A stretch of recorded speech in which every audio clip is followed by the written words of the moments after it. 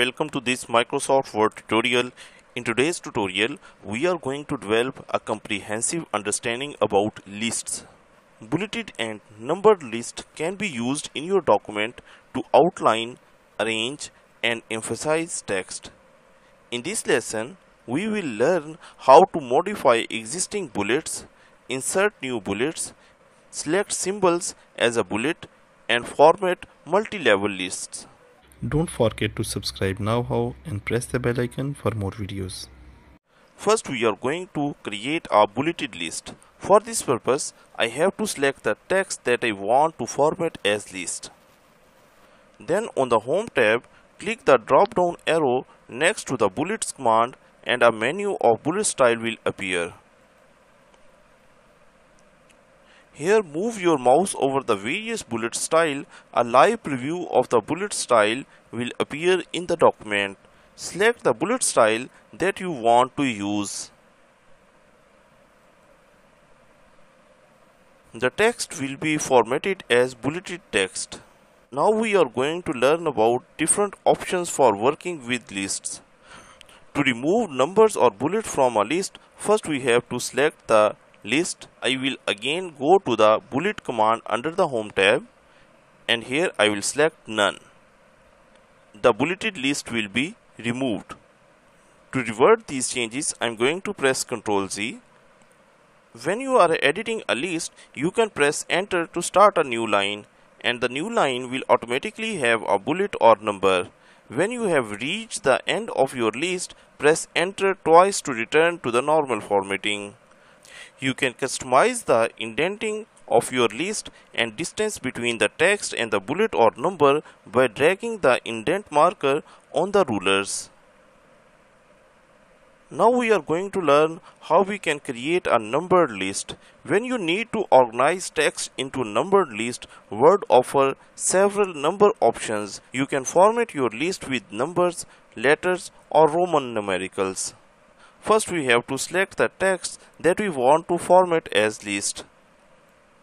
Then on the Home tab, click the drop down arrow next to the numbering command.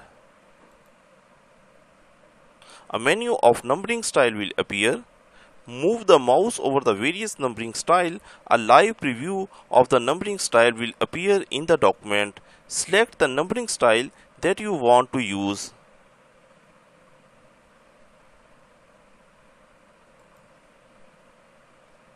The text will be formatted as numbered list. Now if you want to restart the numbering of a list, Word has a restart at 1 option. It can be applied to numeric and alphabetic list as well. For this purpose, we have to right click the list item you want to restart the numbering for, then select restart at 1 from the menu that appears.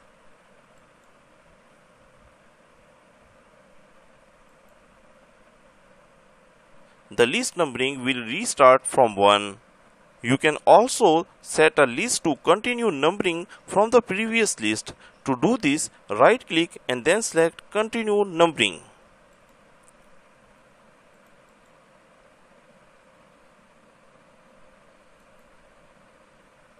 Now we are going to learn how we can customize bullets.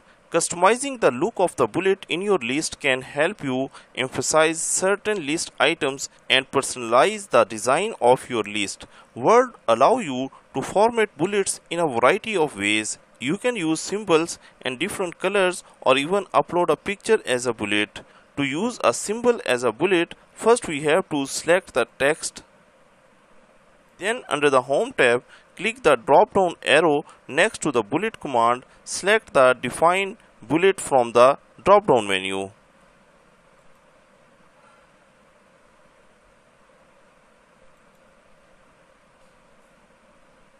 The define new bullet dialog box will appear. Click the symbol button. The symbol dialog box will appear. We can select any symbol and then click OK.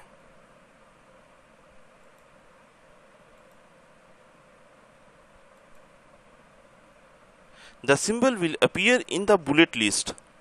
Now we are going to learn how we can change the color of the bullet. For this purpose, again we have to select our list. Then under the Home tab, click the drop down arrow next to the bullet command and select Define New Bullet from the drop down menu.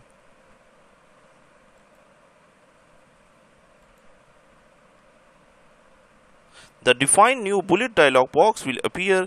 Click the Font button.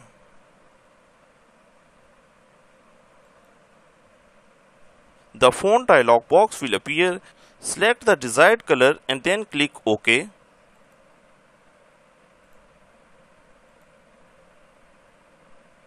The bulleted color will appear in the preview section of the define new bullet dialog box. Here again I have to click OK.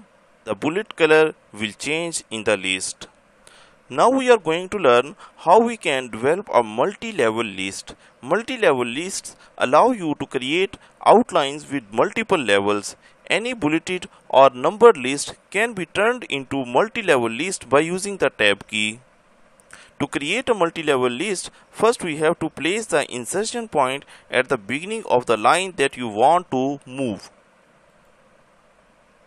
And then we have to press the tab key. To increase the indent of the line, the line will move to the right. Increase or decrease an indent level, we can make adjustment to the organization level of the multi-level list by increasing or decreasing the indent level. There are several ways to change the indent level. To increase the indent by more than one level, place the insertion point at the beginning of the line and then press the tab key until the desired level is reached.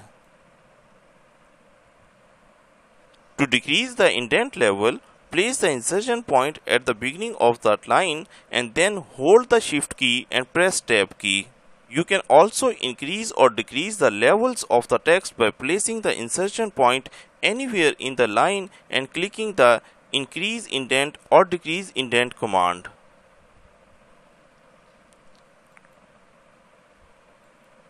When formatting a multi-level list, Word will use the default bullet style. To change the style of the multi-level list, select the list and then click multi-level list command from the Home tab.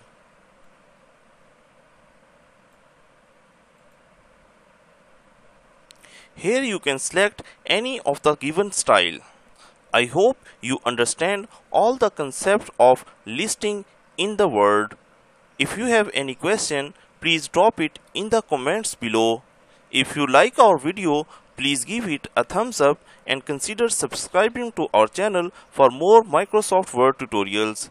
Thanks for watching. See you next time.